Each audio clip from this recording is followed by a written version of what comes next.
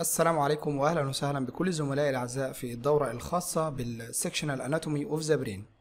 النهارده في الجزء الخامس هنتكلم عن حاجة اسمها basal nuclei ال PDF الخاص بالفيديو ده هتلاقيه في وصف الفيديو تقدر تحمله من على قناة التليجرام. ال basal nuclei أو ما تسمى ganglia هي عبارة عن مجموعة أنوية من ال gray matter بتتكون من caudate nucleus وال lentiform nucleus و claustrum. وظيفة ال basal nuclei هي إنها بتنسق وتخطط حركة عضلات الجسم.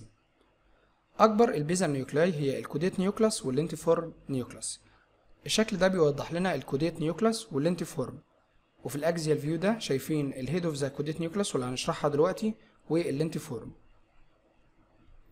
وظيفة ال caudate nucleus وال lentiform nucleus هما إنهم relay station ما بين ال thalamus وال cerebral cortex يعني محطة تناوب استقبال وإرسال المعلومات ما بين ال thalamus وال cerebral cortex. أول حاجة ال caudate nucleus بتكون موازية لل lateral ventricle وبتتكون من head و body و tail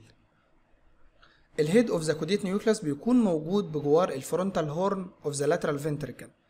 وال tail of the caudate nucleus بينتهي عند ال amygdala الموجودة في ال temporal lobe الجزء ده عندنا هو ال caudate nucleus بتتكون من ثلاث أجزاء head of the caudate nucleus و body و tail ال head of the caudate nucleus بيكون مجاور لل frontal horn of the lateral ventricle وال tail بينتهي عند ال amygdala الموجودة في ال temporal lobe ده شكل ال frontal horn of the lateral ventricle بيكون بجواره ال head of the caudate nucleus وده ال body of the caudate nucleus ودي ال amygdala واللي بيكون جنبها ال tail of the caudate nucleus والشكل ده برضو بيوضح لنا ال frontal horn of the lateral ventricle بيكون بجواره ال head of the caudate nucleus والجزء ده هو ال tail of the caudate nucleus نيجي بعد كده لل lentiform nucleus وال lentiform nucleus هي عبارة عن كتلة أو نواة من ال gray matter محدبة الشكل موجودة ما بين كل من ال insula الجزء ده هو ال insula وال head of the caudate nucleus وال thalamus الجزء ده هو ال thalamus ودي ال lentiform nucleus ال lentiform nucleus بتنقسم إلى جزئين. جزء شاحب للداخل كده اسمه globus pallidus والجزء الخارجي اسمه putamen.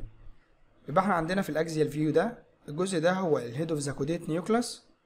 والجزء ده هو ال thalamus ودي ال insula بيكون موجود ما بينهم ال lentiform وال lentiform قلنا إن هو بينقسم لجزئين الجزء الشاحب والداخلي اسمه globus pallidus والجزء الخارجي اسمه putamen. نيجي لآخر nucleus واللي هي ال claustrum ودي عبارة عن كتلة من ال gray matter على شكل خط موجودة ما بين ال lentiform nucleus وال insula. يبقى في ال axial view كده الجزء ده هو ال frontal horn of the lateral ventricle بيكون بجواره ال head of the caudate nucleus وده ال tail of the caudate nucleus والجزء ده هو ال lentiform واللي بتنقسم إلى جزئين جزء داخلي اسمه globus pallidus وجزء خارجي اسمه putamen بيكون موجود بجوار ال lentiform النواة التالتة واللي هي claustrum بعد ال claustrum بيكون في ال insula. ودي صورة coronal view بتوضح لنا ال frontal horn بيكون بجواره ال head of the caudate nucleus وده ال lentiform والجزء ده هو ال claustrum والجزء ده هو ال insula. تاني كده دي صورة CT axial view ده ال frontal horn of the lateral ventricle بيكون بجواره ال head of the caudate nucleus ودي ال lentiform الجزء الداخلي هو ال globus pallidus والجزء الخارجي هو ال putamen. بيكون بجوار ال lentiform ال claustrum بعد كده بيكون فيه ال insula. والجزء ده هو ال thalamus وده MRI بيوضح لنا الهيد اوف ذا كوديت نيوكلاس والانتيفورم والكلوسترم والانسيولا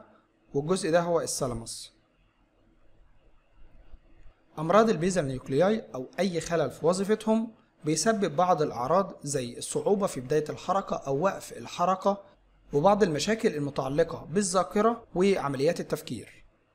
ومن أمراض الدماغ المتعلقة بالخلل الوظيفي اللي بيحصل في ال basal nuclei مرض Huntington disease و Wilson disease و dystonia و Parkinson disease.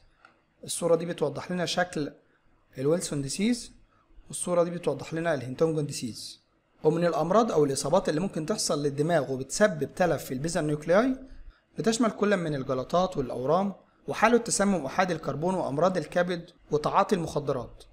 بيكون في ثلاث tracts من ال white matter موجودين ما بين ال basal nuclei وهم ال internal capsule وال external capsule وال extreme capsule وظيفتهم إنهم بيفصلوا ما بين ال basal nuclei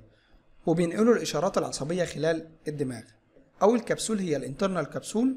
ودي بتفصل ما بين ال thalamus وال caudate nucleus وال lentiform nucleus يعني الجزء ده هو ال caudate nucleus وده ال thalamus ودي ال lentiform nucleus ال capsule اللي بتفصل ما بينهم هي ال internal capsule. وال internal capsule هي عبارة عن tract من ال white matter. قلنا إن هي بتفصل ما بين ال caudate nucleus وال lentiform وال thalamus وده شكل ال internal capsule. وال external capsule موجودة ما بين ال lentiform nucleus وال claustrum يبقى ده ال lentiform nucleus وده ال claustrum بيفصل ما بينهم ال external capsule ودي الصورة CT بتوضح لنا ال lentiform nucleus وده ال claustrum بيفصل ما بينها كبسول اسمها external capsule